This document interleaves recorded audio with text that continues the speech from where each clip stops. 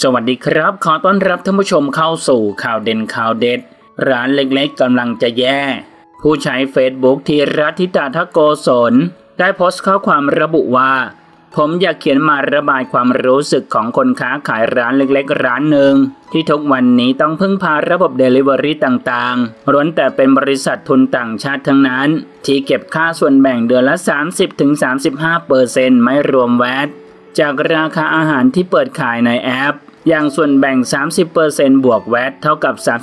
32.1 ส่วนแบ่ง 35%บวกแวตเท่ากับ 37.1 แวตจะตายตัวที่ 2.1%ลองคิดดูว่าถ้าขายเท่าหน้าร้าน แล้วจะเอากำไรจากไหน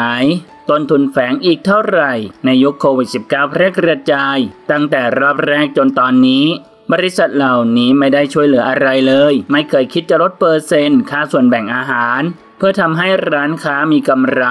เหลือพอสำหรับมาต่อทุนขายในวันต่อไป บริษัทเหล่านี้ยังคงรักษากำไร อาศัยโอกาสนี้ตักตวงเงินเข้าตัวเองตลอดเวลา ยิ่งณตอนนี้ที่กำลังซื้อหน้าร้านลดลงเกินกว่า 60-70%นั้น หมายความว่าระบบเหล่านี้กลับทำกำไรสูงขึ้น ในขณะที่ร้านค้าเหลือเงินน้อยลง ลูกค้าต้องจ่ายเงินสูงขึ้นในการซื้อครั้นพอแอปพวกนี้ให้ทำโปรโมชั่น เพื่อโปรโมทหรือดันยอดขาย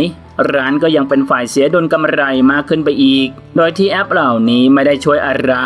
นอกจากเป็นช่องทางและรอกินส่วนแบ่ง เปรียบเสมือนทำนาบหลังคนอยู่ในตอนนี้ กฎหมายควบคุมการค้าที่จะมาช่วยควบคุมส่วนแบ่งในเรื่องนี้ก็ไม่มี ร้านค้าเล็กๆ ตามชุมชนกำลังทยอยตายไปเรื่อยๆ เพราะหน้าร้านก็ขายไม่ได้ ออนไลน์ก็ไม่เหลือกำไรพอ ผมวิงวอนอยากให้แอปออนไลน์ต่างๆ หันมาช่วยเหลือร้านค้าบ้าง หรือหน่วยงานใดลงมาควบคุมการเอาเปรียบการค้าในรูปแบบที่เป็นอยู่ตอนนี้บ้าง เพื่อที่ร้านค้าจะได้เหลือกำไรมากขึ้น หมุนเวียนระบบค้าขายให้เดินต่อไปได้ทำราคาที่เหมาะสมกับตอนนี้ได้ต่อไป ไม่รู้ว่าเรื่องนี้จะมีใครเห็นว่าสำคัญไหมแต่สำหรับร้านเล็กๆ ทุนน้อยๆ ที่พยายามดิ้นรนอยู่ในทุกๆวัน เรื่องนี้สำคัญมากจริงๆครับ ฝากระบายไว้เท่านี้ขอบคุณครับ ร้านเล็กๆ บ้านนอกคอกนา